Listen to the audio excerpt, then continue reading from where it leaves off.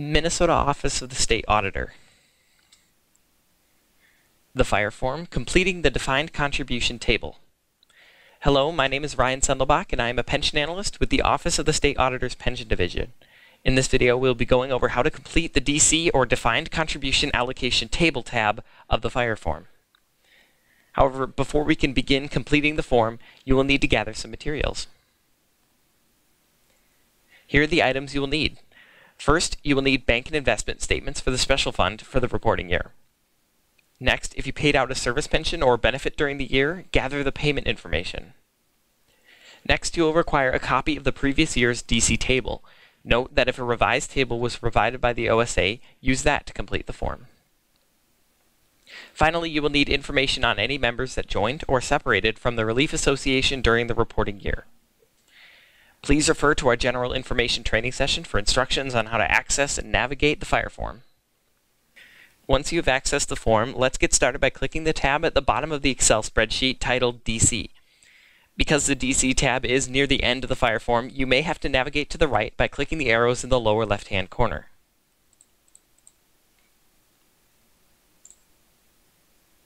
If your Relief Association provides a DC table of its own format rather than the one provided by the OSA, Select Yes in the box at the top of the page to indicate that you will be submitting your own DC table separate of the fire form. If this is the case, there will be no need to complete the table below.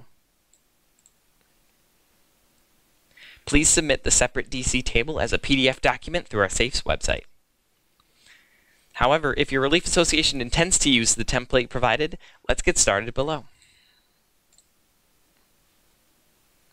Typically, if a relief association has provided its DC table in the OSA format in the past, much of the form will be pre-populated. Be sure to verify the member names, statuses, birth dates, entry dates, separation dates, and beginning balances with Relief Association records and the prior year DC table.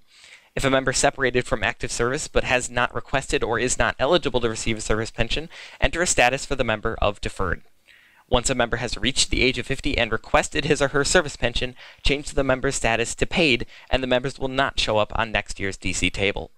By consulting my imaginary payment information, I know that person A and person B were paid in 2015, so I will change their statuses to paid.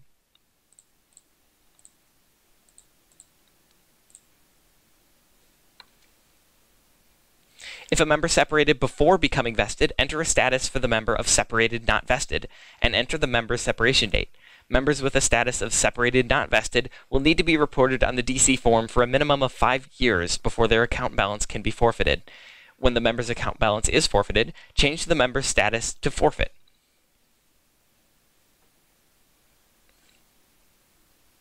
As you can see, Frostbite Falls has one member who is not vested and has been separated for five years now, and as such will forfeit their benefit this year.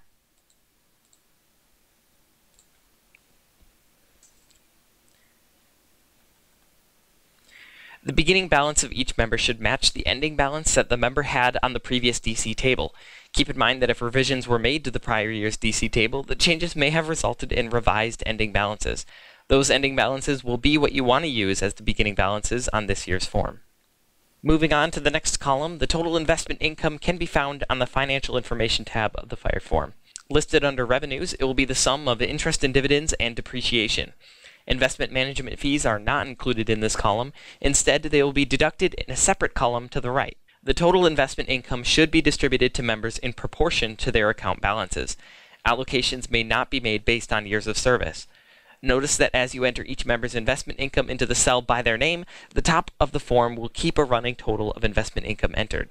Some relief associations choose to enter whole dollar values while others round to the nearest cent. Frostbite Falls made $25,000 in investment income during the year, and I will distribute this amount proportionally among active members.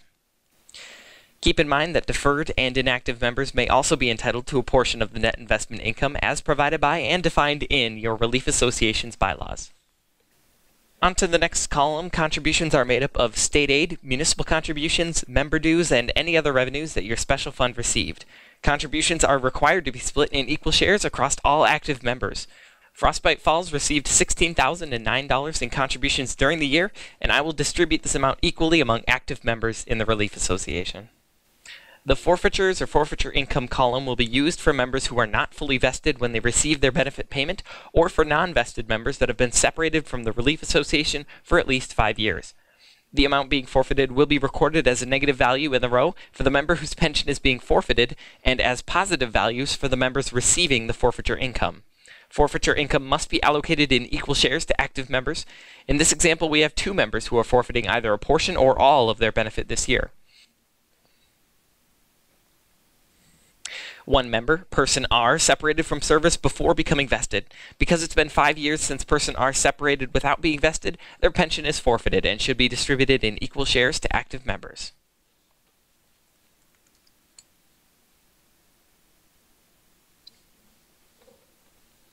Person B was paid this year, however, they were not fully vested when they separated, and because of this, they forfeited a portion of their benefit.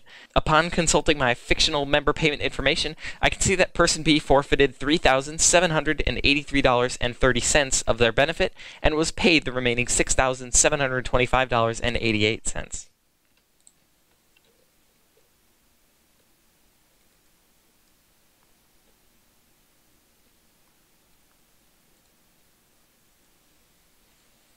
I can see that the total amount forfeited among all members was $11,223.30, and I will distribute this amount to all active members.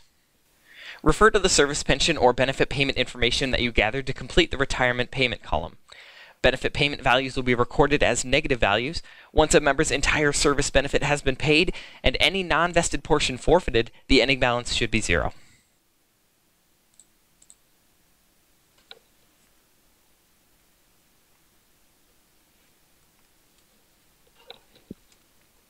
Note that upon retirement, members receive a supplemental benefit payment from the state of Minnesota equal to 10% of the service pension up to a maximum of $1,000. This is an additional lump sum disbursement refunded by the Minnesota Department of Revenue and should not be shown on the allocation table as deduction from account balances in the special fund or as a deposit upon refund. A relief association should include the money as an accounts receivable in its financial records and on the financial information and cash flows tab in the year the payment is made. The Relief Association should list the supplemental benefit payment and accounts receivable refund separately. If correctly recorded, the transaction results in no net change and should have no effect on the member account balances. You can find the amount of any administrative expenses that the Relief Association paid out during the year on the Financial Information tab of the Fire 15 form. This amount should be deducted from the members as defined in the bylaws. Frostbite Falls spent $2,000 in administrative expenses during the year, and the bylaws stipulate that these expenses are to be paid in equal share by active members. This amounts to $86.96 per member. Investment management fees should be deducted from member accounts in proportion to their account balance in the investment fees column. The total investment management fees paid should match the amount listed in the revenue section of the financial information tab.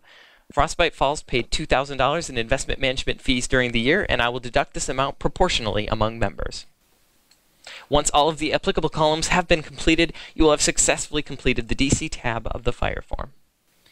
If you have any questions, you may contact us by email at pension at osa.state.mn.us or by phone at 651 282 6110.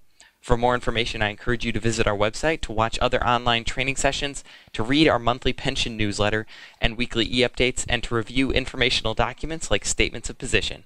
Thank you.